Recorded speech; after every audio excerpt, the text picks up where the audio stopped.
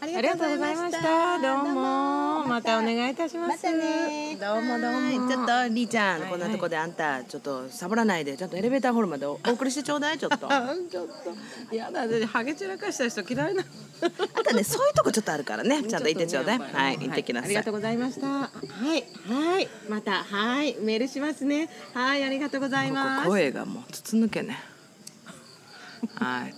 あのー、ここね防音ドア聞いてんのかしらねこれ。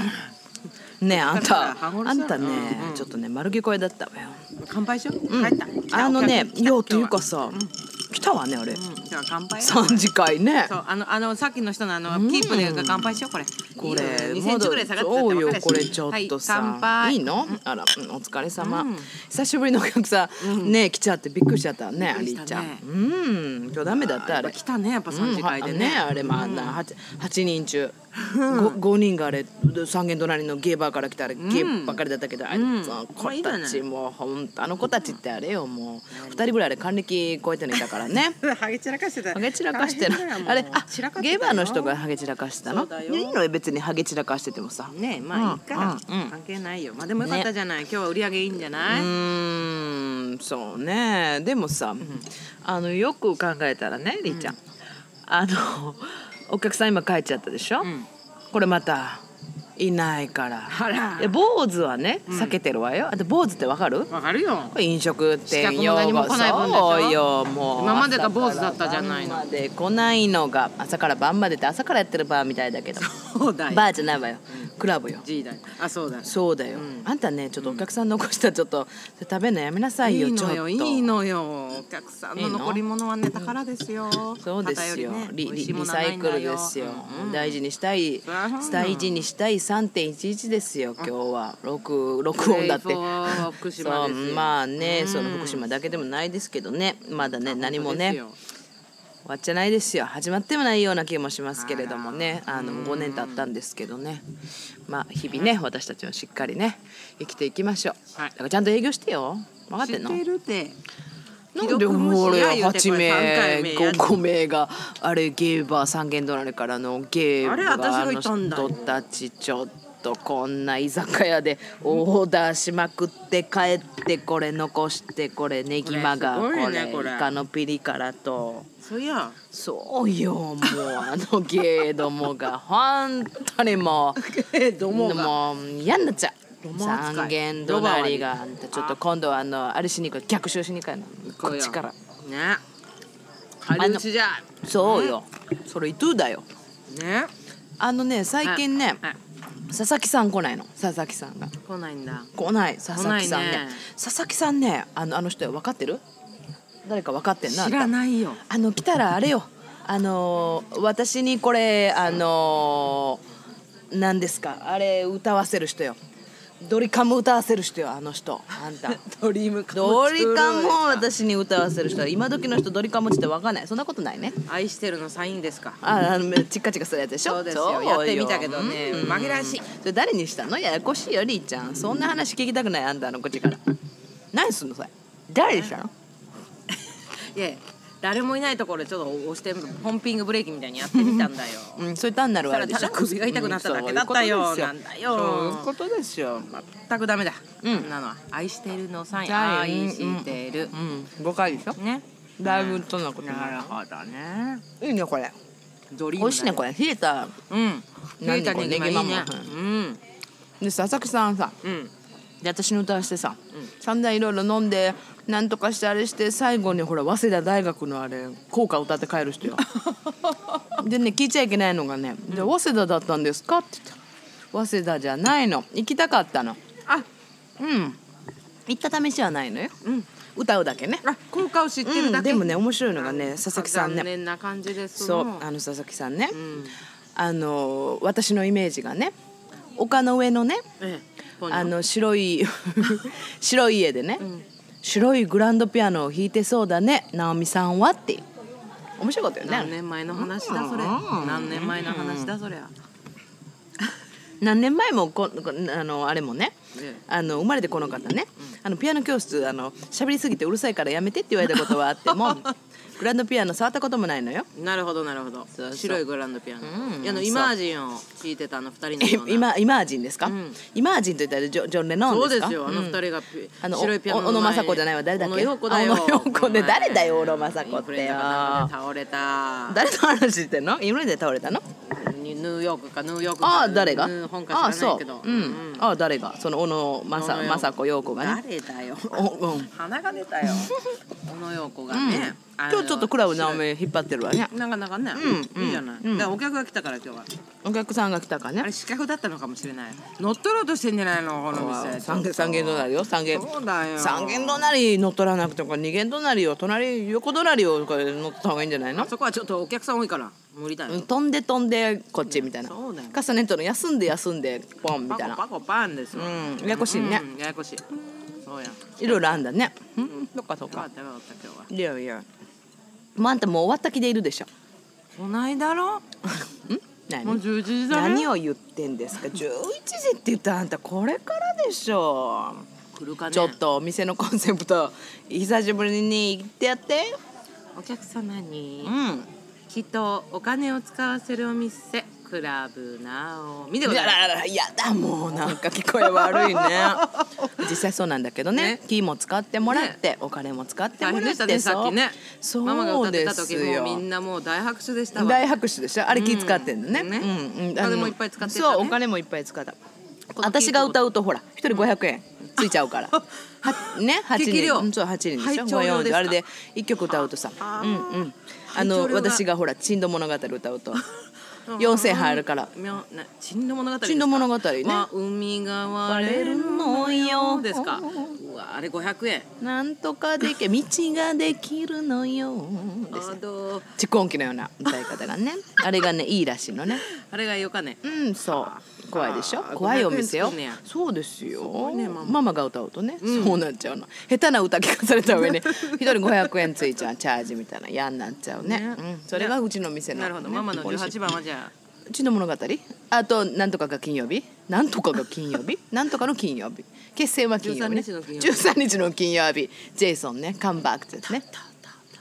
チュイーンそんなところでキャンプしてるから殺されんねやって。やだね。とっとと帰れ若者どもよっていうね。あなたね、今日引っ張りすぎ。あはい帰ろう。あお母さん帰ろのー、あれですよ。結局暇だからさ、やっぱり聞こうよ。聞こっか。なんかね、ちょっとねなんかオリジナルのジングルっていうんですか？テーマ曲みたいなのがねできたらしい。あらものすごい有名な人が作ってくれたらそうしいじゃないのよ。そう遊びで作るのかなと思ったらどうもね、うんえらいことになったらしい。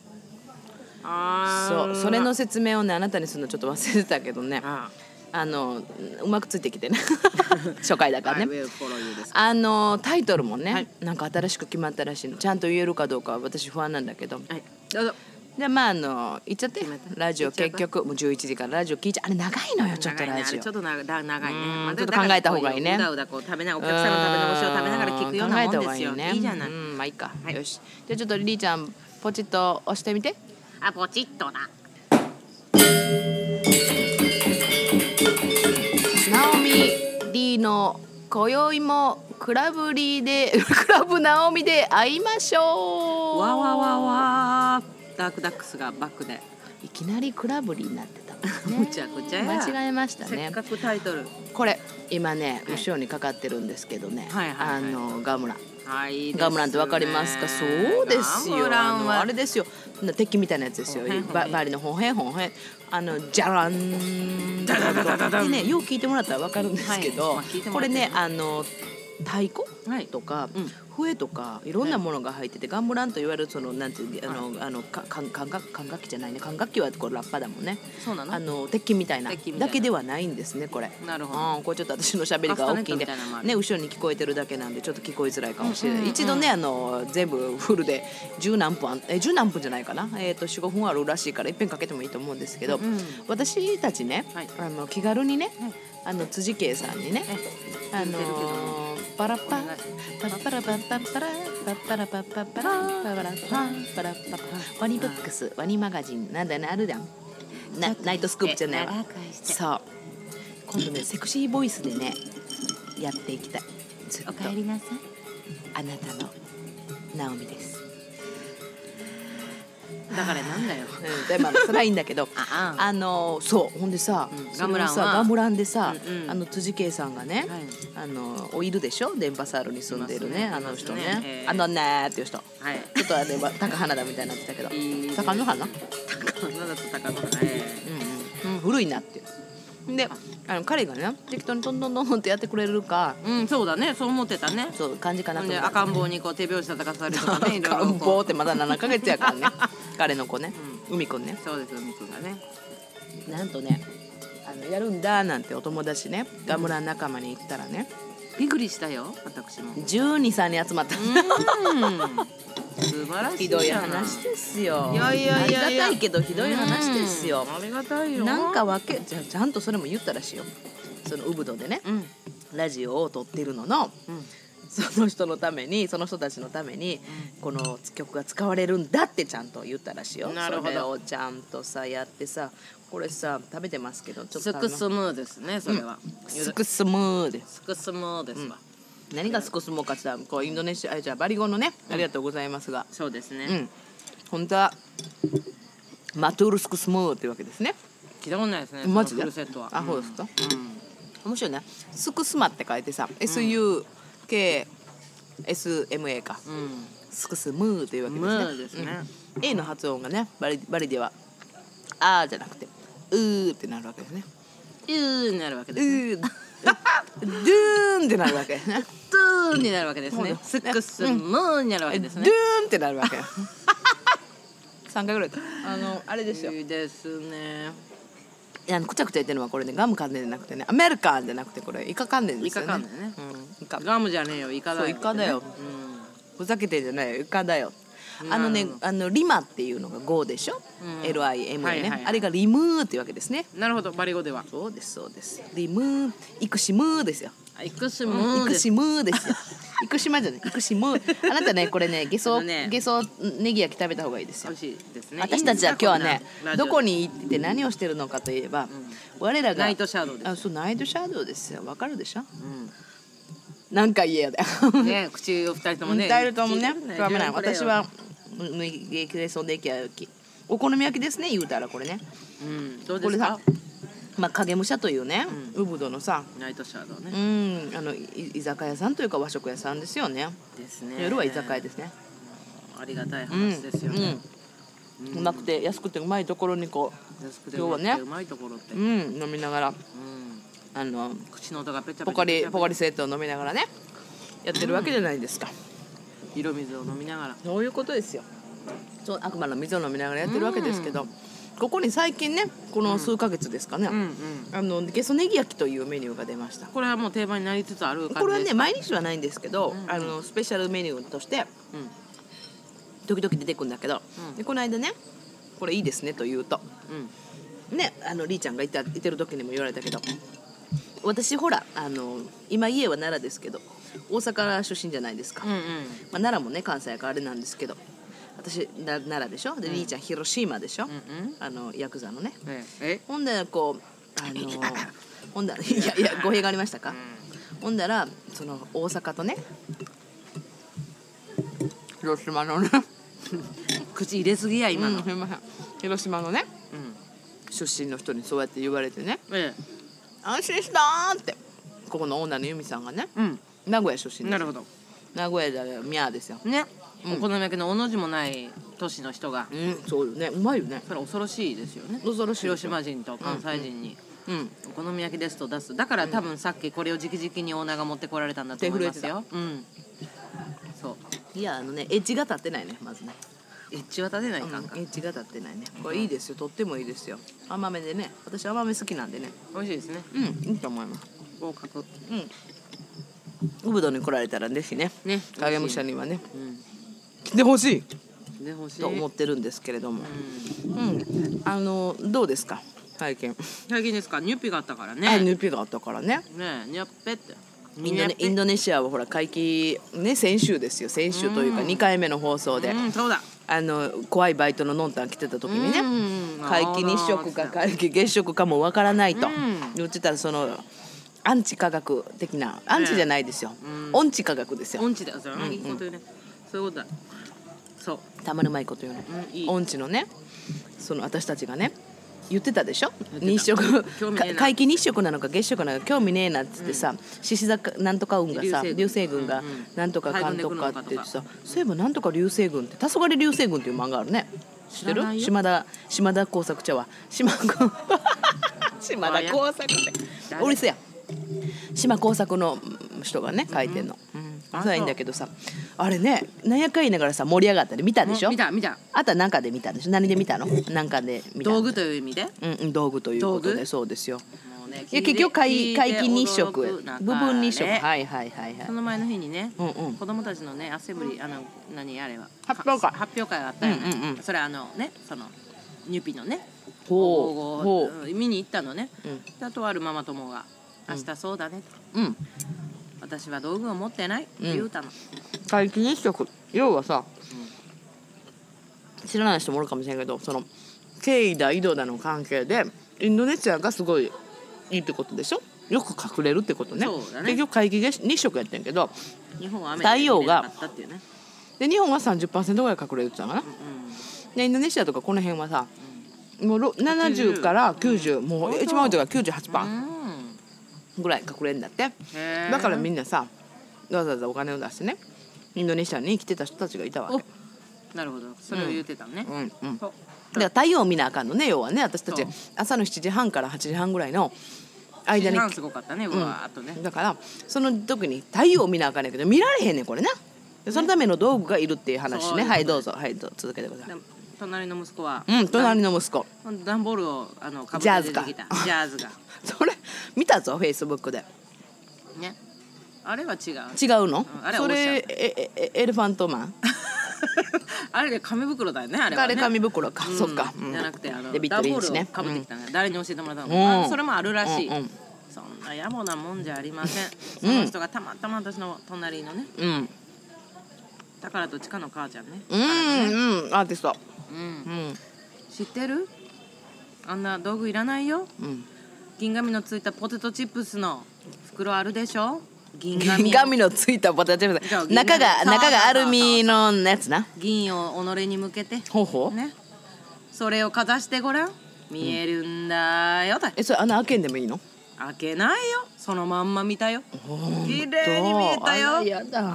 私100年に1回買うあのスナック菓子を。2つも買うて。子供に分けて。うんじゃあ今度買う時はあれか。100年後か。あー142歳か。そのうんうん夏季月食か日食か知らんが。その時にうちもまたポテトチップスがね 拝めるっちゅう話ですわ。すごいやろ。すごい。うん。あんな1500円とか2000円とか5000円とか出さんで。そんなすんの、うん。あの段ボールかぶったり。ダンボールかぶってた人ふざけんなっつって苦情入るんだな。いやいやいやいやちょっとあやこさん言われてますよ。ダンボールかぶって、えージャズも言われてますよ。エレファントマンかって。うん。おさん言われてますよすっごいバクバク食べてるね私たちね。ね。そう。ですごかったね。あの薄暗くなったじゃない、太陽はこうこうと照ってるのに、妙な色になって。あれ面白かった。肉眼では分からへんのよねかけてんのもね。どんどん暑くなるはずがささっきより涼しくなってるな。上がってんのに太陽は。うん。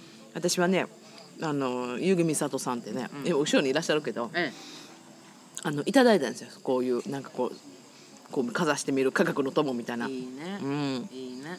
ごめんなさいねなんかね。ねなんかすごいセレブだよね。嫌だよね、ポテトチップスのそのねあれ。ごめんねあのあれをね って。拭きもしない洗いもしない、目につけたら油つくからちょっと1センチぐらい離して。ここの年になるとやっぱ乾燥気になるからそれぐらいがいいんじゃないですか？ポテトチップスの油を油やけどもね。う。んいいと思いますよ。面白いね。ほんまにかけんのね。うん。どういう風に見えるの？見たんでしょ？あのねあのカードみたいなやつ。カードみたいなのね。あのあのしおりぐらいの大きさであの変態仮面みたいな。変態仮面はちょっと、ね、長井剛さんのやつ？あれ結構仮面ね。うんあの一応こう両目で見れるようにあの2つさあのサングラスみたいに黒いこうフィルムみたいなのが貼ってあるのね、うん。うん。あるんやけどそのあの耳目耳にかけるとか 3D の映画見るためとかそういうのではなくてもうちうんそうそうチラシえーチラシちゃうわ何えっ、と付箋違うな。なんつうのあれ。あの本のさっき言うたのにな。しおり状のやつにあの眼鏡みたいな2つこう黒いしフィルムが貼ってありましてそれを2ついただきまして。うちあの時あのあのささっきも言ってた辻圭さんが泊まってたでしょ、ええ。ファミリーと、ファミリーがね。うんうん。で隣の N 子さんところの,、ええ。あの娘も N 子も来て、ええ。わーわーキャーキャー言って見てましたね。なるほどなるほど、ねえあれ本当に不思議なもんですね。すごいね。うん。やっぱり興味ないって言ってね見てよかったね。よかったよかった。うん、チよかったですよ。アンチではね、アンチほらほらわざと嫌いなんじゃないけど、わよう分からへんからどうでもええって話で。うんうんうんう、ん。ああいうほらこれで見てみな、あほんまかけたって。うんね、うん。でも面白かったのがさ、この間見れたのが1983年かなんからしいの、結構最近やねん。な？83年で、でその時は83年なんか悪いけどさ、結構最近やん。まあね昨日ぐらい、まあさ、そんなこともないか。うん私ら10歳ぐらい。だから30年前か。うんうんでもまあ。怖いね怖いよ80何年がもうさ三十年前えー、そうだようんその時はうんやっぱりね太陽がその隠れるのがもう何かよう分からへんからうんうんうん。あのインドネシア政府がねあのみんな家の中にいて決して見る見ないようにっていうお触れを出すらしいよ。素晴らしい。でも日本もさそれ実際のとこ分からない。ほらハレー彗星の時さうん。なんかそんなに近いような話なかった、ノストラダムスと何がしそうとかさあのすほうき星の裾のところには毒ガスがあるからあ。当時はその毒ガスマスクが配られてお？実際そう当時ってそのその前の時ね100年前かなんかの時、うんうんでなんか今回もなんかあるんちゃうかとかさ、うん。それが出る時がいつもね不吉な何かが起こるからで言うてた一試合インドネシなるほど。アうん。まあとにかくさそんなこんなでバタついてましたな。ね。うん。あでも素晴らしかったね。の夜の星空それがさそのニュピっていううね結局はその静寂の日っていうまあ、バリのさバリの話はしませんってさ、バリ好きさんは聞かないでくださいと言っているこの番組。ないんやかんや言いながらねバリの話してますけれども。あのニュピもうニュピっていうのがねいわゆる静寂の日と言われる。はい。静寂の日ですよ静寂の日が何かというとあのまああのいろんな宗教的な話は、まあ、あるんやろうけども、うん結局前日にねあのおごおごっていうあのあのなんか化け物のねうん。化け物のこうハリボテが乗ったおみこしっていうんですか、うん。ね、それをみんなで村の人たちでわっせわっせ村で、ね、それぞれ作って怖いねやつを。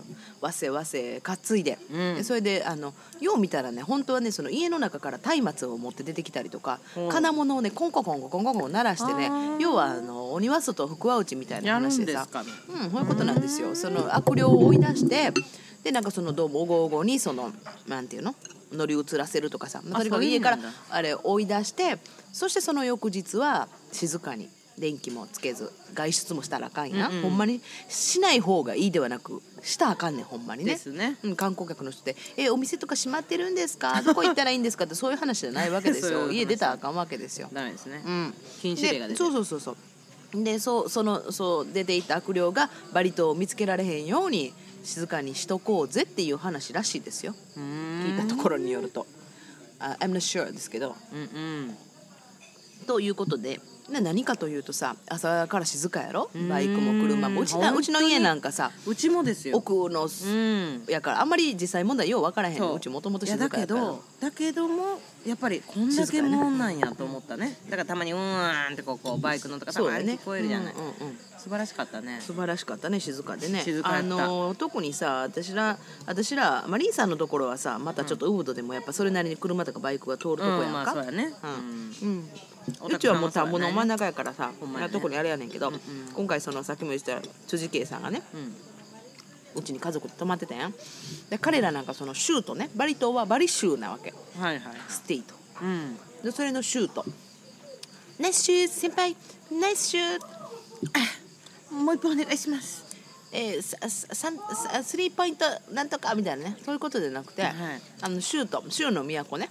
はいから来てるでしょ？みんなすんごい。全然違うって。ユピの時は。空気が綺麗ですねっていうのも私村もさ、あ空気綺麗かなぐらいやってんけど、うんうんうんうん。もうユピの時全然違う。ああそでまあそれもあってさ夜がねで新月でしょ？ニュピっていうのは新月なんですよ。う、あそうなんだ。だから真っ暗なの。新月？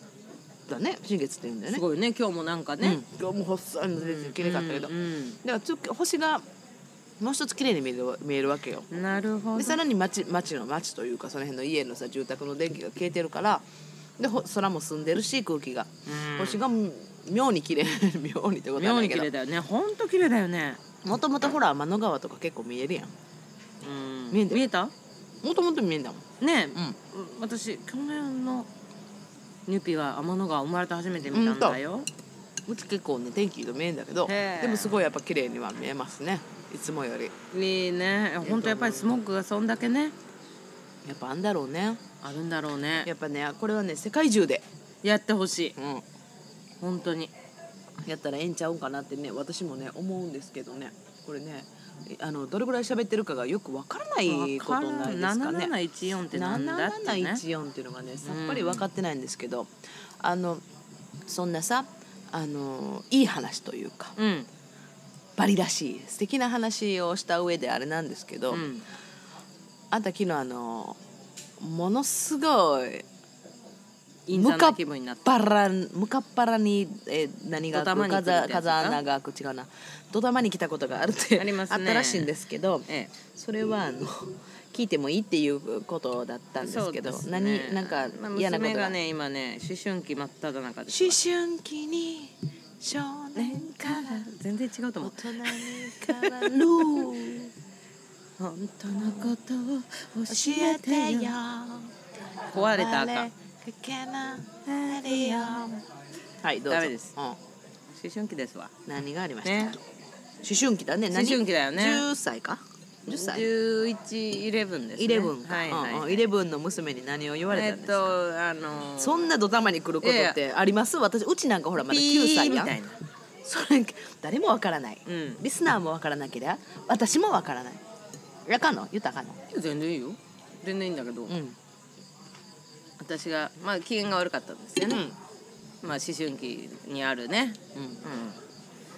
あらどうしちゃったのかなって。いううん、うん、そういえばあなたこんな歌が好きだったよ。うん。幼少の頃に。うん「キリンさんキリンさんどうしてお首が長いの?」あら優しいママだね。あっちも見たいしこっちも見たいしっていう歌があったのね。うん。そういや思い出してふと。うんうんお前さん。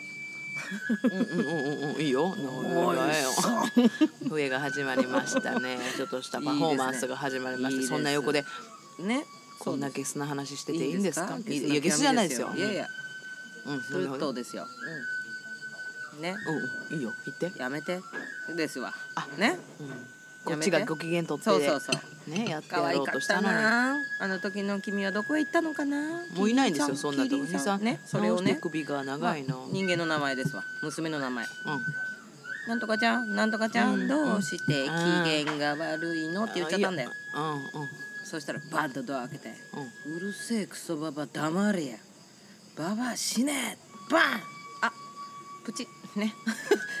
起爆スイッチオンねいいですかそなれは？悪いそれいいですか言うて。ったそれそれねはアウトでしょ。死んだら困るでしょ。はい出口はあちらですわ。うん自動今的に。すぐ荷物をまとめやがれ、うん。お外ね本日をもちまして 養育を終了いたします。ああありがとう死んだと思っていただいて結構です。と、はい。自分の道で。はい。バカだはい。ね、えっ、とガソリンスタンドの周りに行ってミンターワンミンターワン。あお金ちょうだいお金ちょうだいって言ってる人いるもんね、はい。よろしくお願いします。さようなら。本日をもちまして終了させていただきます。それは悪いね、で11歳うん。で私がそんなこと言うの？あの玄関までお送りして、うん。ちゃんとフォンフェンスも閉めああのはい。フェンスもしてそれ何時？何時？それはねえっ、とそれをね言ったのはね多分ね5時ぐらいだったと思うんですよ。ああ夕方ね。でうんずっと部屋にこもってたんですよ、はいはいはい怒って。私ショックのあまりもうポケーっとしてて、うん。うん。うるせえばばって言ったのがが5時過ぎぐらいにおっしゃってそ,、ねこからお家の外に出ていただいて、はいはいはい。いやいやそっからじゃないですよ。あの部屋にいたんです、うんうんうん。さあどうやってギトギトにしてやろうかなといろいろ考あえてました。あけっちゃんけっちゃんの、うん。あのあのいろんなこと考えてました。いろんなことうん。だけどうん。いやそんなことはない。うん。もう無理です。うゲームオーバーんゲームオーバー、うん、ラブイズオーバ Love is ーね Love is over. 悲しいけれどですよフィフィちゃん私ね一時期その歌聞いて泣いてました、はい本気で終わりにしようってねキリがないから本当ですわうんほんで、うんえー、ともちろん晩ご飯もなしですよはいはいんでねあのはいもう寝ようとうんすいませんもうそろそろ出てっていただいてよろしいですかああそうねここ私の家なんでねうん出口はあちらでございます、うん。ね。もうあのあと5分以内にあの、みみんなり整えね。出てくださいと。うんでお送りし。うんねうん。さようなら。あパジャマにしてお送りしたの？えそうですよ。あパジャマじゃないですよちゃんと。あちゃんとお出かけっていうか外ねそのまんまの格好です。ね。送り出さなかったね。はいはいはいさようなら。それが大体何時ぐらい？えそれがね8時半ぐらいでしたかね。でそっからまあさようなら。うんうん。えそれはフェンスの外に？はいもちろんですよ、ガラガラガラ、うんうん。あそこの田んぼのね。はい。うん。行きやがれと。行きやがれと。うん。うん。さようなら。今までどうも楽しいまあでも本人にしたら5時に言っての8時やからもうそろそろ言ってねほくれてると思ったよね。が冷めるね。どんどんどんどん。怒りがねただねあのあのチャージされただけなんだよね、うんうんなんで結局え全部電気を消し、うん。うんね、11時頃にペロッと見たら、ん。寝てましたわそ ね。犬と一緒あのフェンスの外にいやでいやいやいや。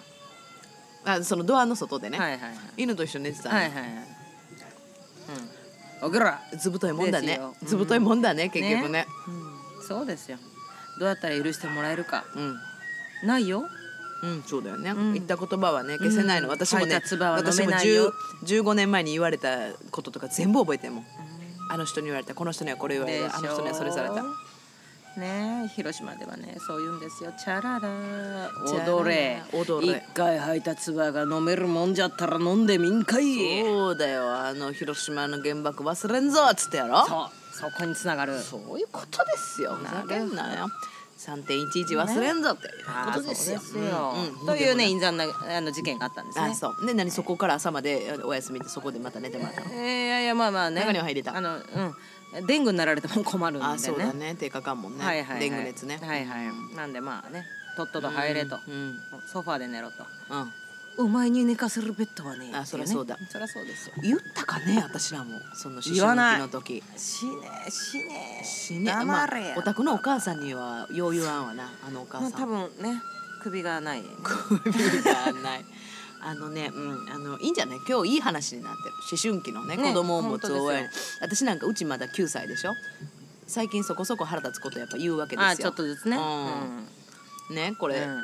特にほらお父さんなんかさパパになんかこうねやっぱ言うわけですよ。ね、パパなんてよく怒るからね。いいってなってるからね。私はそれ見てイヒヒと思ってるけど、やめなさいそういうことは。本当のことはとか言うのやけど、うん。これだんだんね、うん。あのひどなるんやろなと思ってさ、うん。ええ勉強になりますわ。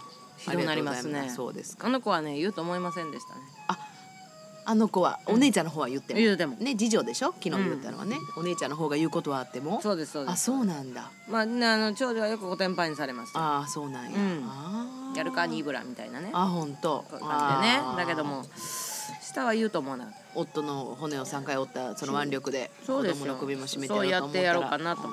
やったんですよ。だけど真ん中は容量がいいでしょ？あーそういうね大体。ね、うんうん。大体やねまあ下はもっと容量いいけど。真ん中ねうん。うん容量いいじゃそうよ。私もそうですよ。でしょ？容量だけ。私から容量そうそうそう取ったら何も残りません何もない私もそう。ね。私たちねそう三人姉妹のそう末っ子ですなんだ。なありがとうございます。本当にも。う、うん。うん。そういうことですよ。もうね本当にねい嫌ですよ。嫌で疲れる。ねお互い仲良くしよう。でもなんか虫みたいなさそのなんていうのあのなんか住んでんだろうな。あれ抑えきられへんねんあーなそうそうそう。当時もそのなんでこんなお母さんとかにね、うん。偉そうに言うんだろうとか思ってたもん止められへん始まったら。腹立つしな、うん。顔見たくない。そうそう。そういうことそういうこと。でねその今回いあのこの間ねほら私たちあの図書室っていうのをやってるじゃないですか。図書部ですか？図書部です。うぶうぶど日本語図書室の図書部員でしょ、はいはい。それであの図書室やってんですね、うん。図書室のこともまたちょっと載せますけれども、でそこであの子女ですね。うん、しうん。師匠知女みたいなそうおしいさある人ね、ね。うん、ほんであのあれやってこの間ね本をこう補習してた時にね、ええ。何でしたっけタイトル？頭に来た時のとっさの一言でしたっけ？そうですよ。ドタマに来た時うん。トサカに来た時のあいらなかったですか？どうしてもね私あのドタマって言っちゃうね。どうしてもね。うん、頭に来た時のいいですね。とっさの一言ですよ。そうやったっけ？そんなタイトルで、うん。あれでドイツ人の人が書いてる日本人なのでねそれをやった時にあの「それ私の本!」私読ませていただきますと よ私くあるね。こうね製本しながら皆さんでねこうあこれ読んでみたいって今日ねついていったらこうなったでしたっけ？あなたね。読もうかなついてあと何でしたっけ？えーっと不良牧師でしたっけ？いいですね、うん、長渕かなと思ったら不良牧師でしたけどね。そういうのありますけど。あの変なもんでね、ええ。私あのほら結構勢いがあってポンポンポーンと喋る方じゃないですか。あそのくせに、ん。結構ひどいことドタマに来ることをよく言われる言われちゃうの。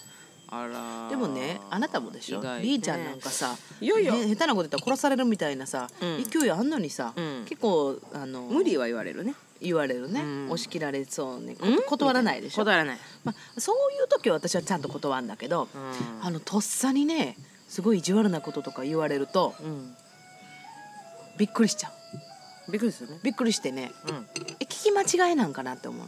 時が止まるよね。うん時がし。うんそういうことよく出るね今日いろいろ。うん。びっくりしてまうね。あんまりにひどいこととかびっくりすることを言われると人というのはねびっくりしちゃうね。でする。え？私に言ってんの？ポカーンってなっちゃうのね。なるね。あれがねちょっと問題だと思うんですけれども、うん。でね悪いのはねその後ねなんか悪いことしたんかなまず私がって。まず反省しちゃう。これがね。反省せなあかん反省するのは反省せなあかん、うん。ここで暮らしてる分には。これ若いからいいけどもやね。う、ん。もうちょっと年いくと、うん。これうつ病なんだよ更年期と。私が悪い。私が悪いんや、ね、だからね早めにうん。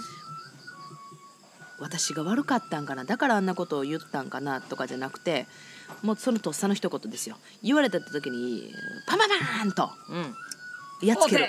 お手お手返しぐらいのことをね、できるようにねならなあかんのかなと思って、まあ、それを読んだわけですけれども、うんあのーいろいろね対処があるわけ。うん。だからね、えー、と君君君のことドドイツの人が書いてるからちょっと例えとかもさちょっとウエスタンな感じなんだけど、どんなやったかな？君のことを、えーなんか女性として見見ることがあるなんて考えもしなかったよとかね。無かみたいなさ、向かってうん、そうういう時にこうどういうこと？ね。そういうのええどうどういう意味やろう？みたいな思っちゃうんやけど。で結局その時にあのどういう対処法があるかというと、はい。あの単純にねあのそれはね合気道とねえ絡ませてたの。面白いでしょ？ドイツ人の人が合気道がどうしたって書いてんだけどさ。ほんであの まずね、うん。合気道っていうのはうん。相手の力を使って倒す。えなるほど。で倒さなくてもいいみたいな。であのちょうどスペインのあの闘牛みたいにさはあ、はさらっとかわすっつうの？なるほど。あれまあ最終的に刺してんのか？あ、刺してるけどさうん。パッとかわしてるやん旗で、うんうん旗というのひらひらしたの。あんなみたいなのでな怒られる？うん。旗じゃない。うん旗じゃないのこちらですよって JTB って書いてないそうそうあのジャランラヤウブドンのところでこう、中国人の人ね。最近中国人になっちゃったね。団体さんのねうんやつやあんなみたいなんですけど、はい。黙るっていうのもあるの。黙ってじっと相手の目を見るっていうのもありました。だそれ好きだな目で殺すってやつですか？殺すというか、うん。多分ねキョトンみたいな。あ巨トン名なんだ。で向こうが何かな何だろうかというのを待つ。あとねいくつかあんねんけど、うん。あのーこうやっぱ要は向こうはさなんかもうムカつかせようと思って言ってるわけでしょ？リーちゃんもありましたね。この間あの面白半分に辻圭さんの話ばっかり出てくるけどさ、ええ。あのグラフィックデザイナーの辻圭さんがね、はいはい。おあのリーちゃんの素敵なう浴衣でビール飲んでる写真を使ってねあね。えあのビンタンビールのポスター作ったでしょ？バカみたいに。ポスター自体は素敵だけどね。あんそうんですか。なわざわざプロがねねね。印刷屋にまで出してたった1枚のビンタンビールのポスター作ってたでしょ、勝手に。あれを見てさ「やだー怖い怖い」言われましたね。言った人が言った人がいたでしょ？うん。あれはまあ別にきょっとんとしたね。だよね、どうん。でもただドタマには来るよね。うんどういう意味だろう。まあねそれなりに美しい方に言われるとね。まあまあタイプはいろいろあるけどね、うん。まあ、美しい感じの人は岡部ひょっとこみたいねな顔に言われるとね。うん。もそう。怖い。あれ怖いって言われた、ね、言われましたね。うん。何が怖いんだいっていうね。例えばそういう時とかにもね、確かに、うん。そこで。そう。だからね相手をねそこでねあなんていうのかな。あのー分析する。今あなたは怒っていますね。今あなたは私を怒らせようとしていますね。私を不快にしようとしていますね。なるほど。言うんだって。なるほど。言うのね。言うの。ちゃ言うんの。んそうやってそこで、うん、あなたはじゃあ今のだったら可愛いって言われたらあなたは今そうやって怖い怖いということによって私は不快。じうん、不快にして自分はちょっとキャワイキャワイイキャラを作っていますねとか。ビン、タンのモデルなら私だと思っていますね。うんうんなぜ私じゃないのと思っていますね、うんうん。モデルしてるからね彼女ね。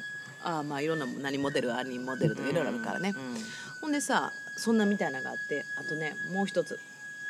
ことわざ返しっていう。はは 例えば。ことわざ返しって思うでしょ？うん。畳返しじゃあ例えばそのりーちゃんのあ私ねいっぺんそのあの、ほらうん。布屋さんでさ布、う仕事がてら布屋に行くでしょ、ねカバン屋をやってるええ私は布屋に行くでしょ、そうするとね布屋通りで怖い目によく会うの。本言ってない、怖い目にすごくよく会うの。ここ安いよ社長さん。ここ安いよそういうことじゃなくてですね、うん。えっ、とシチュエントションとしてはですね。シチュエントションとしては。シチュエントシチュエンションとションとしては、知らん？それフォーションとかあるでしょ？パンね。シはい。チュエントション、フォーションみたいな。フォーションうん、そういうことなんですけどね。これ本当に何分喋ってんでしょうねまあいいとしてほんでねそこでね店に入ると、日本人の方が日本人ですよ、うん。いらっしゃるのよ。よくわからない感じの人あがらそう。の人が私をじっと見ながら「うん。はあ」って顔で待ち受けてらっしゃることが多いですね。日本の方で日すか？本の方ですね。で私あらあれ？後ろを振り返る、うん。ね。私を見てる。うん。ちょっと小さく手を振ってみたりとか知ってるか？こんにちは」とか。うん。ある時にね、うん。あのもうほんとだいぶ前の話ですよ。これ多分10年ぐらい前の話やねんけどその時に「こんにちは」誰かわからない人が私のことを見ながら奥から手を振っててね。やばいこういう時はやばいと思ってんけどもう店入っちゃったから逃げるわけにいかん、うん。こんにちはって言ってくれてるし。じゃあさ誰かわからへんねんあるやん向こうが。はい。こっち笑ってるけど誰やろうか。わかりません。やべ誰やろ。であこんにちはとは言うねん愛想よく。うん。せやけど誰やろう思った時に「私。わ。誰かわかる？どこで会ったかわかる?あ」言うの。女子大生いいつぞやの昔の女子大生みたいなこと言うの。あ「何歳だと思う?」みたいな。なるほどどこだった？だもう知らねえよってさ。知らないねでそのさ、まあ、知らねえよってようほんまに聞いたらさ、うん。あのそんなん分かるわけないわみたいなさ、あのそのあの時あなたが乗った電車の隣の寮に座っていましたぐらいの話のことをされてさ、そんなん知るわけないやんと思ってんけど、ん。向こうは誰どこの誰か分かってるからさ「すいません」って。あじゃあ知り合いなんやね。うん平謝りして「すいません気づきませんでした」って言った知り合いというか知り合いの知り合いやって。うんうんあの私そこの車のところに行って「あこんにちは」って知り合いと立って挨拶してたらそこの時の車の中の助手席に座ってたらしいね。知らないよね。うん、知らないよね。うんうんうん。うん。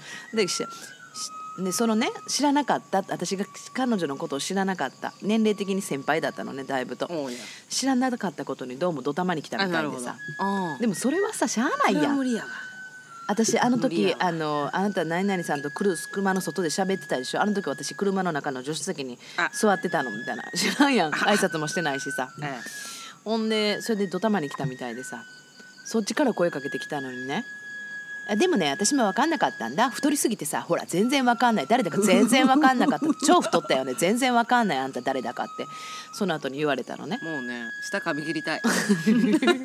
私はその時に解釈ごめん。ああ無料開いてさ会ってさ「あこんにちは」って頭下げて「誰だか分かる申し訳ないです。誰か分からないです。すいません。どっかでお会いしてますか？すいません」ってこうひたすら謝って。うん言ってその後ここで会った時に車の中にいたんだよって車の中から見てたんだよって言って「知るかい!」と思いながらうん「そうだったんですか失礼しました」って言った後に「うんでも分からなかった。誰だか太りすぎてあなた誰だか分かんなかった」ってそれテロリストやろ？すごいな。でもその時とかに例えばさうん。ああう馬に念仏とか。言うんだ。カッパの川流れとか。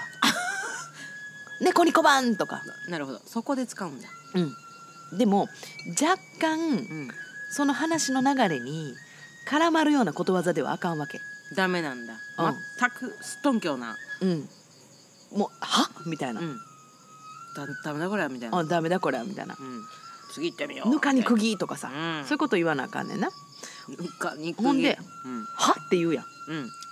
ほんだらねえ「ね」ってそう。でえっとほんだら向こうからそれニコニコしとくと向こうから聞いてくると。うん「い今のどういう意味?」って言ったらって言ったらうん。私もね昔は分からなかったんですよ。分かるのに2ヶ月かかりました。じゃあ失礼しますって。あ。言ってくださいって書いてあった。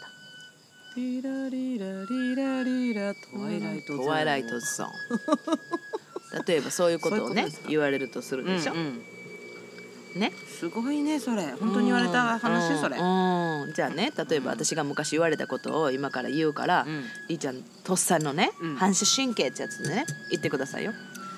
うわーあらありーさんそれうん髪切ったの、うん。あ切った切った。すごい斬新無理。それ 私だったら罰ゲームみたいな私だったら外出れない。すごいよね。清水寺から飛び降りる清水寺から飛び降りるわけじゃないからね清水の舞台から飛び降りるの。寺からもういやだからそれ動揺してね。動揺して無理でしょ？でもそれやったらな例えば清水の舞台からねおあのお飛び降りた気持ちでこの髪型にしましたみたいな流れがあるから。ダメだね。まあダメだね。かろうじてことわざは言えてたけどもっとびっくりするようなことを拍手が起きるようなね。うん。ね。うん。ちなみにこれ私ほ言われたからね、本当に。その髪型まあ本気でやってるの私なら罰ゲームで外出れないって言っていただいたことがありましたじゃああなたならどうするうーぬぬたたたたか豚に真珠みたいな豚に真珠もちょっとななんかかぶるってるとかなダメやわ工房も筆の誤りとかでね。あでもそれも謝ったんかなと思うよね。謝そうだ。ったわけじゃないのにね、うん。でねそうやね。結局さ猿も木からす落ちるね。だから結局ねそれのさ反射神経って大変やん。だから私が編み出した方法ねこの間あなたにも言いましたけどやっぱりね社会人してるとねうんすごく失礼なこととかをうん。向こうがそのジェそんなん言われるのはジェラシーよとかみんなフォローしてくれんねんけど、ジェラシーでも何でもええけども、ムカつくことはムカつくわけですよ。結構ねあのスイートハートやからそういうことですよ。あ。の傷つくねうん、で何があかでな言うさっきも言ってるけどあかんのんが自分が悪かったんかなと思うのそんなこと思っとったらあかんねん更年期の前の私らは。もう準備しとかなあかんねん。加速し始めて助走しとかなあかんねん。がっつりな。うん。うんほんだらな一つ。私が編み出したのは、うんどんなに動揺してもできること。それは。ね。ちょちょちょっと待ってください。あの今書くもん出すんで。でゴソゴソって書くもんを出す。紙と鉛筆、うん。べボールペンでもいい、今のももう一回言ってもらっていいですか？あとお名前をもう一回いただけますか？これをしようと思ってる。だから紙と鉛筆は持ってる。まああなたのカバンの中はねドラえもんのポケットだから、うん、そうよ。フィリピンに40 48時間ね。あの不時着した時もね大いに役立ちました私のカバンは、はい、メリー・ポピンズもびっくりですよ。でもね今日もやっぱり言われへんかったね。変なことあったけどね。でも今日は、うん、なんか変な感じだったかね。今日はただ50分あのあれね待ちぼうけを食らっただけ、ね50分ね向こうから11時って言ったのにね51分こね連絡なかったんで。うん、そうそう。私が連絡したら「ああはい」みたいな感じだったね。えみたいなうん、そう。それもね私思って、あ私がなんか悪かったんかなって思っちゃったとこあのそういう目をがしてた。やろ、うん。おまたおどおどしとったやろ、うんうん。びちゅうかびっくりしとったやろ、うん。えそんなこと言うの？みたいな。な。な。だからねやっぱりね。いてはるんやね。これはねなんやろか。バリだから。海外だから。ではなく。日本にいるとねかなかね。なかなかそこまでのね、うん。人合わないよね。とか言われることがねまずないんですよ、うん、やっぱりね、うん、やっぱね、やっぱり日本に住めない人が来てるところが多いから、やっぱそういうなんていうんですかね、あの振り幅は広い人が多いよね。ですね。まともな人も多いけど、ね。いやだから変でもな、まともやったらええね、変でもおもろいとか、うん。いい人やったよね、ひよくておもろい変だって言うやったらいいけど、うん。変でバカって多いのがおるからね。ね。だからねこれからはねだからこれからね、はい。その悩み相談もいいんですけど、はい。この間こんな目にあったこんなことを言われた。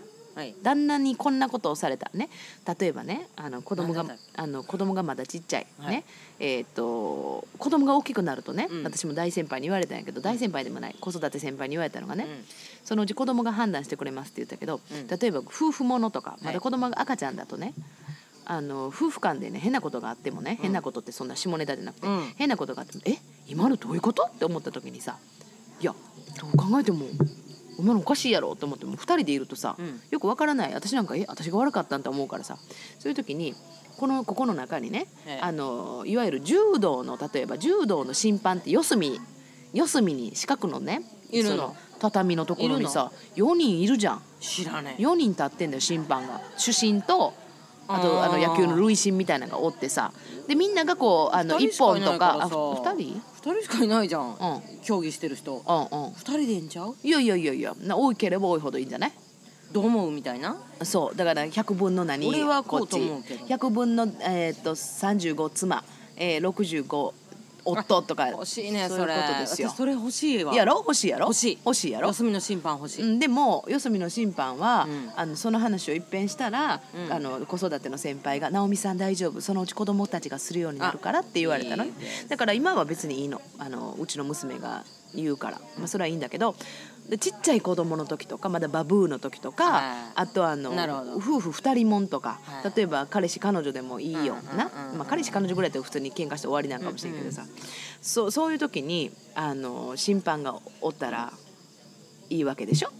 だそうやけどおらん人がここでこんな目に遭いましたけどこれはどう思いますか、うんでもね私ねなかなかねあの、渋ちんというか渋い評価をしますから、はい。あの例えばリーさんがこうこうこうやねんけどどう思う？いやそれ別にちゃんと言うたらいいんちゃう？って結構言うでしょ？うんそれムカつく。いやそいつは違う悪いって言う時も例えばさっきの次女の時もせやけどさ、いやちょっとそれやりすぎちゃうとかもうちょっとうまいこと言ったらよかったんちゃうっていうのも言うからぜひ皆さんにこんなことを言われたされた。ね。あいいですうねん。私も辛口に行こうか。各あのいろいろ言われてますもんで少々のことなら「へえ次」って言いますけどぜひこんな面にねこんな面白おかしい嫌なことされたとかいいこんな手の込んだ嫌がらせをされましたっていうのをですねぜひ、えー募集したいと思います。応募先はこちら。応募先はね今出てるこの下の方のね ここまで送っていただいたら。ねうん顔が映ってないね。そういうことですよ。映ってないのが幸いですよ、おぞましいね。うん今日はいろいろ話したね、うん。あのニュピの話と。うん。えっと次女が外で寝かされた話と、ね。えっといや実際ねできできるかできないかわからないですけどドタマに来た時の対処法。大事。えー、何でしたっけ？えーっとあのひゅ、えーっと評論するあなたは怒っていますね今。っそれがいいの。ていうとか私言ったことはないと黙る、黙る。うん、じーっと見じるっと見る。あとことわざ返し。と今日はね言っちゃったよ。私の秘密の方法が秘密じゃないね。2500人聞いてんだからね。2万5千人でしょうよ。あ2万5千人になったらもうあら怖いね。すごいよ怖いよ。これ。1人10円くれたらね。ねえ。それ10円くれよ。にに25万円になっちゃうんだだから10円くれよ。10円くれようんみん。な100円くれたら250万だ。お100円くれよ。100円ぐらいまでならねなんとかなるね。そうです。今日言うの忘れた10円くれよ10ねうん。よひどかったねあの。え？キョンキョンね。ひどかったね。うん。あひどい。うん。歌唱力ちょっとね。いやでもファンの方多いですからね。いやかいやうわあの人は若い時より今がいいんじゃないですか？リマがいい？今が。今がいいですか、うん。あのや矢沢永吉さん？足は足の裏。うん、ここの間ついね矢沢、ちょっとしな辻圭さんの話ばっかり出るけど、ええ。彼の友達がね、矢沢さんところのね、ええ。あのマネージャーなさってるみたいな人がいてあ下手すら聞かれちゃうね。あそうですか。ん足の裏みたいな顔していやいや足の裏ねあのあのねいやでも足の元祖足の裏は。ビビビコビコしてるじゃないですか。いやいやいやこともないですか。かかってこいやでしょ。ここああかかってこいや。さかかってこいやですよああ今日は非常に長いですけど、まだ喋ってますけど一体何分喋ってんでしょうね。分かりにくい1604いやいいと思う、とかね。いいと思います。うん。160分ですよ。いいと思います。そんなことはそんなことはいいですか。あのね、だからね、何ですか。いい話をしました。よ。そうとっさにねだからね、職場でもね嫌なね、もう明日何言われんねやろ、あの上司に。ね、あの新人ね、にね、新人のくせにあいつ何言いよんねんと思ったらですね、こう言ってやろう、ことわざ返してやろう、ね、メモを取ってやろうと思うとね、言われないかなって、ね。メモ取るっていいよね。いいでしょ。今言うとこともう一回言ってもらっていいですかってもいいですかって。言ってほんならね何かに書かれんのかなと思う今時ねだね。ああ。な名前はあのフルネームでうんうん、お今で時計をも見てね。ああするとねもしかしたら何かに言われんのかなねみたいな。うんそういうことです。フラッシュフライデー。フラッシュ。今フラッシュじゃないですか？何ですか？フラッシュって。フライデーみたいなもんああそうですか。わかんないですけどね。えー、にちゃんとかあるようなやつですかああそういうことですか、うんみたいなねぜひね使ってもらったらね、言われへんかなって。あれ今日言わないのって逆にね期待していただきたい。ぜひ。うんなんと返してやろうかと。もうねとかもう言った瞬間相手の首絞めるとかねもう何も考えず。そういうことが できるといい分かんない。だからね私も今日ね50分遅れて変なこと言った人いたでしょ、うん。いた人にね「あんたそれどういうつもりでやってんの?」っつって。うん聞いてみたかった実際のところ。あのお宅のあのスタッフのあの金髪のお姉ちゃんは。チビ？み違うちびめがねうん。無視しとったやろ完全に。もう完全無視だったね。すごいやろ？あれもう切れたら無視するからね完全に。もう全然真横におって。真横にいたけどね。で私が「なあ」って言っても「ああもう知らん。あんた喋ってください」って言って。あららら。パソコンずっと売ってたでしょ、はいはいはい。うんあれ根性座ったな。あのマスクも取らず。そうでしょ、うん。脇目も振らず。脇目も振らずね。うわ50分はちょっとねインドネシア人もびっくりするよね。ね遅れるのがね連絡電なしで話しようねね大人だから。うん。それはダメだ。そうだね。ごめんなさいって入ってきたんだったらいやいやいやね。うんいやちょっと逆切りしてあったからね。え？みたいな。うん何が？みたいなね。うん、だからね私もやっぱりねまだまだね、うん。あの新人なんですよ。あのねそう。あいつぐらいなんかねまたしとけっていうことなんですよ。14年やっうんてきたけど。うんうん。なんかねあのフレッシュな気持ちになりました。フレッシュ14年じゃないですよ。何でもうち17年目ですから。あららららら。うん。うん。まあいいですよ別に。あんたと会った時から時が止まってるのよ。時が止まってるんだ。だから14年ってうんずっと言ってるそうですよ。私。うんうん。もういいよ3年経ったかね。うんうんうん。身長も2センチ伸びたあんだから。らららららうん。2センチ縮んだんだけど運動来てください、はい。ということですね今日は。今日も長々とね、話しましたけれども。ありがとうございます。タイトル思いっきりね決まった初回から言い間違えましたけどいいんですよクラブリーでも何でも。ナオミリーの今夜もクラブナオミで会いましょう。昭和昭和昭和これねあのーしょっぱい感じでしょっぱい、うん、昭和。あのね前この間ねジャカルタでねお世話になってるあの岩崎さん。はい。であの、ええ。いらっしゃるね、ええ。あの人の娘さんあの、はい思春期。え彼女がねええ。ちょっと古い感じのこと言うとね「昭和昭和昭和!」って言うのね。そうだよ昭和だよ。何か、あんたもね平成平成平成って言われる時がそうですよ。んだよ。いいじいい時代だよ昭和。だから逆に大正ぐらいの方がいいよなんてねね言ってたんですけどね。昭和昭和もうね夢で会いましょう。ということでですね長い終わらないよ。終わらない。で今日はその作ってもらったらジングルをええ。流しながら。いいですね。また会いましょう。ましょう。こまた今宵もクラブナオミで会いましょう